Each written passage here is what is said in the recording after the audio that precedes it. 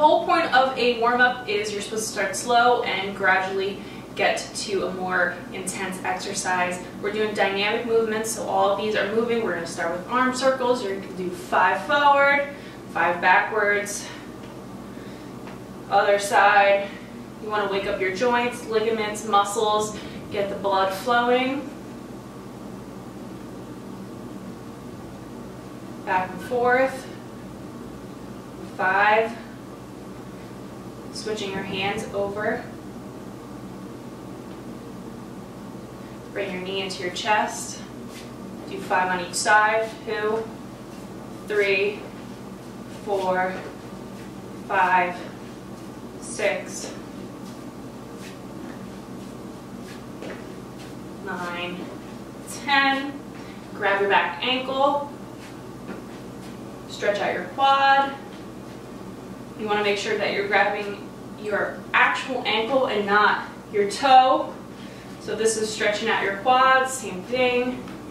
You're going to do 10 total, 5 on each side. Already lost count. Next we're going to do what's called an inchworm. So if you can, keep your legs as straight as possible if you have the flexibility. If not, all you're going to do is bend your knees for your hands to touch. You're walking yourself out into a plank, walking yourself back up, getting that stretch in your hamstring. So if you have a flexibility there, keep your legs straight. If not, it's okay. Bend your knees as you come down. Same thing, you're doing five reps.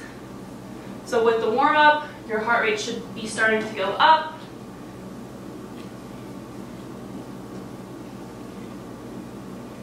You want to remember to go nice and slow. And remember, this is a warm up, not the workout. So you want to take your time, make sure you're getting stretches. Next, we're going to go into the inchworm again. As you come into a plank, you're going to bring your foot to your ankle as far as you can.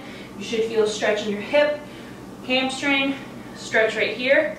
Turning up to the sky, facing this bent knee.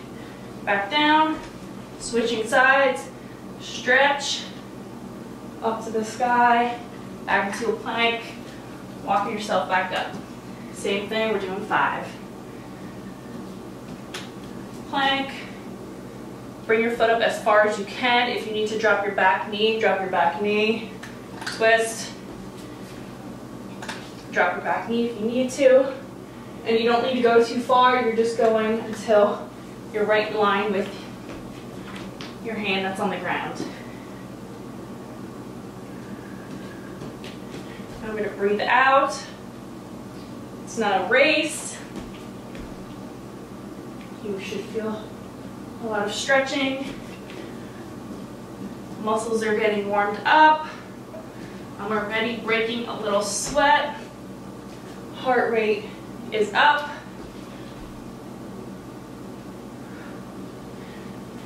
Breathe out. If you are a little bit more tight, you may just want to stay in this spot for a few more seconds. The warm-up is really whatever you need to get your body ready. Okay, next we're gonna drop down to our knees. What you're gonna do is you're gonna be in a push-up position. Hips are forward, core is tight. You're doing a push-up, back into a child's pose. You're gonna do 10 of these. Two, push-up, child's pose. And a nice stretch in. Three, child's pose. This is warming up your core, arms, shoulders, back. Remember to take your time, stretch, and stay in a position when you need it.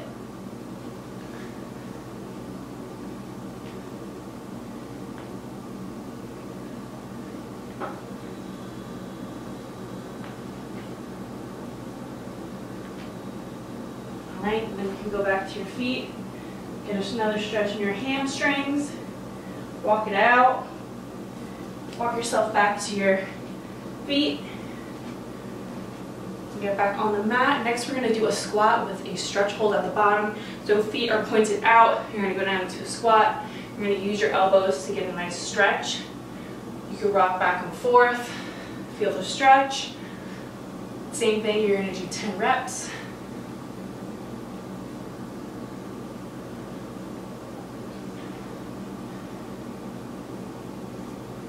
So warming up is so important. I have all my clients warm up, even if we're limited on time, because if you don't warm up and you go right to the intense exercise workout, could result in injury.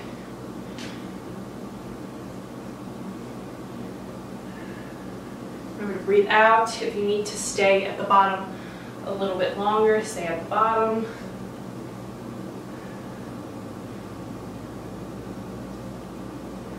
One more.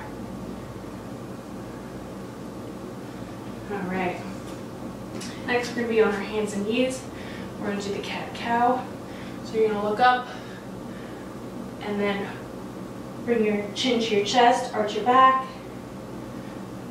Three, four, remember to breathe out, five, six, eight, nine, ten. And then you're gonna stay right where you are. You're just gonna lightly put your hand behind your ear. We're gonna work on your spine. You're gonna go down to your wrist, come up as far as you can.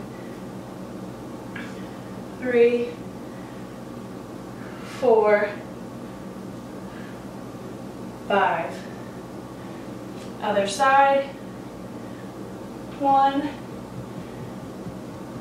two, three, four, five. All right, now we're flipping back over. You're gonna make some room. Your feet are gonna be out wide. What you're gonna do is a push-up. One side, you can let your feet fall over. Other side, two, three. You're gonna do 20, 10 on each side. You should feel a stretch in your hamstring.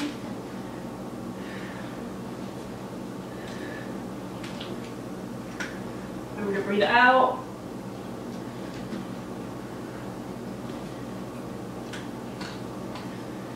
Remember, this is a dynamic movement. You are moving with a stretch. You're not just in a static stretch where you are such as touching your toes and holding that for 30 seconds.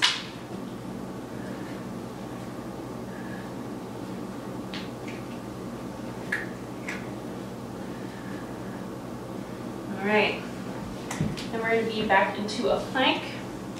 You're gonna do plank pike ups. So butt's gonna come to the ceiling. Back to a plank. You wanna remember to keep your core tight.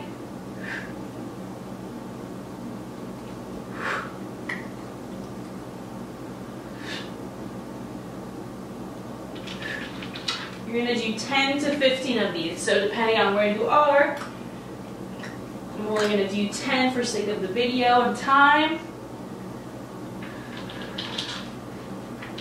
Core is always tight.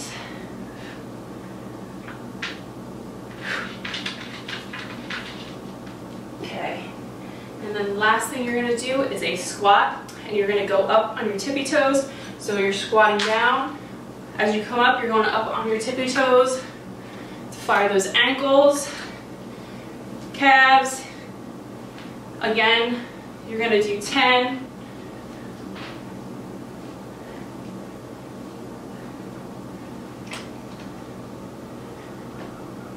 Nine, 10. All right, so that is the full body dynamic warm up. If you have any questions, please leave them below. If you want me to do a warm up for a more cardio or high intensity workout, that would be a whole nother warm up. This is specifically for strength. So leave a comment below, read the blog post, and let me know what you think.